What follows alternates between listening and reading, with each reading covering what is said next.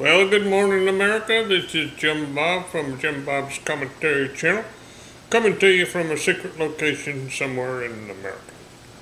Well, I'll bet you you're not very grateful this morning.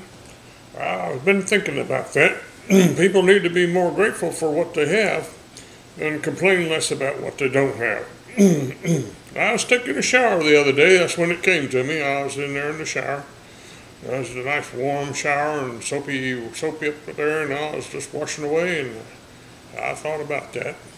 And so um, I got a little test for you. I think you ought to be considering.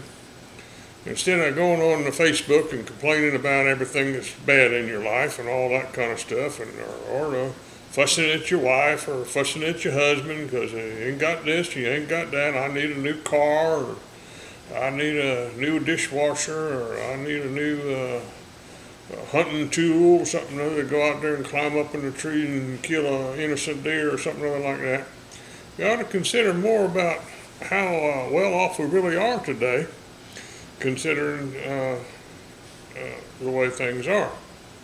So uh, here's a little test I'd like for you to do.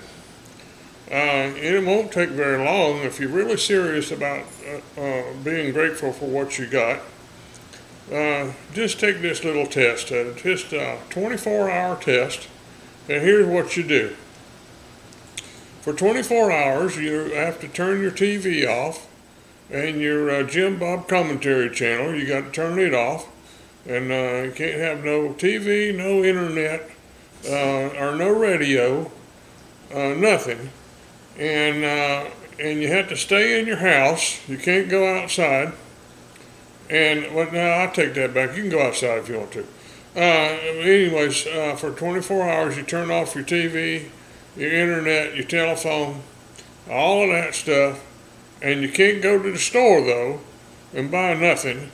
And uh, you you um, uh, have to just uh, make do with what you got in the refrigerator and all that kind of stuff.